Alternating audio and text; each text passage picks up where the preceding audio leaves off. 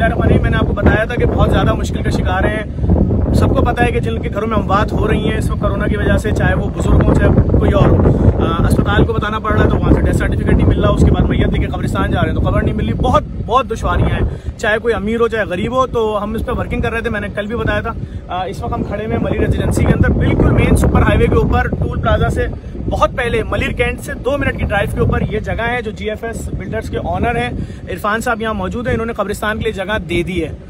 अच्छा कोरोना के मरीजों के लिए सिर्फ़ और सिर्फ़ आम लोगों के लिए नहीं है, कोरोना के मरीजों की यहाँ तदफीन करें लाके। आपकी जो भी मजहबी रसूमात हैं, आप एसओपीस को फॉलो करते हुए वो अंजाम दें। खबर के पैसे भी आपसे नहीं लिए जाएँगे, शहर की मेन लोकेशन पे। ये जगह दी है इरफान साहब, मैं कराची वालों की तरफ़ से आपका शुक्रिया अदा करूँगा, पाकिस्तान वालों की तरफ़ से कि इतनी महँगी ज़मीन और आपने इस मत में दी। क्या बोलेंगे सर, क्या एक्सपीरियंस है कि आपका भी कोई इंतकाल हुआ, किस वजह से जज्बा आया बस देखें आजकल जो वबा फैली हुई है, अल्लाह ताला सबसे इसको निकाले। हमारी भी फैमिली में डेथ हो गई थी तो दस पंद्रह दिनों पहले। तो हम भी इस फ़ेज़ से गुजरे हैं जो प्रॉब्लम्स होती हैं गुसल में मैयतों को लेके जाने में। आपके पास तो माशाल्लाह तो, आप तो साहिब हैसियत इरफान भाई आपके साथ क्यों हुआ ये? बस वो आ, ये क्योंकि मैनेजमेंट इतने लोग ज़्यादा हो गए कोरोना के शिकार। कब्रिस्तान है नहीं कब्रिस्तान है नहीं दूसरी चीज़ें नहीं हैं।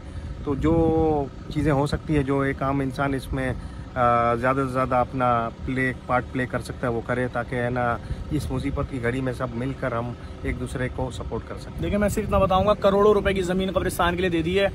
कोई चार्जेस नहीं है, दफनाने के भी पैसे नहीं है। जैसे चाहे अपनी खबर बनाओ, तुम जिस फिरके से भी अपनी खबर बनाओ, अपने मरूम को दफनाओ, परेशान नहीं हो कि तुम्हारी मजहबी रस्मात पूरी नहीं हो रही, तुम्हें हटा दिया गया मुर्दे को कैसे खबर में फेंका जा रहा है? नहीं भाई, इंतहाई इज़्ज़त तकरीम के साथ तदफीन कीजिए यहाँ पर। इस वीडियो को लाजमी शेयर करें। कराची, पाकिस्तान के बेटे जाग रहे हैं। खड़े में आपके सामने लोगों का ख्याल है, जो अस्पताल बन रहा है हुनैद लाखानी साहब के साथ मिलकर हुसैन लाखानी ट्रस्ट के साथ मिलकर जो अस्पताल बन रहा है, उसकी तकरीबन मशीनें खरीद ली गई हैं। और मजीद दूसरी जगहों पर भी अस्पताल देख रहे हैं, उसमें उनको भी शामिल रखेंगे। इस अस्पताल में भी इनकी जानब से भी बड़ी रकम दी गई है और इस कब्रिस्तान के लिए भी, मैयत बस के लिए भी वर्किंग हो रही है। इस वीडियो को लाजमी शेयर करें। हमारी कोशिश है किसी भी शख्स के घर में जो कोई मरे, उसकी मैयत की बेहरमती नहीं हो। बेहतरीन जगह, शहर की आइडियल तरीन, इतनी महँगी ज़मीन शायद ही किसी के पास कब्रिस्तान की हो। बहुत शुक्रिया।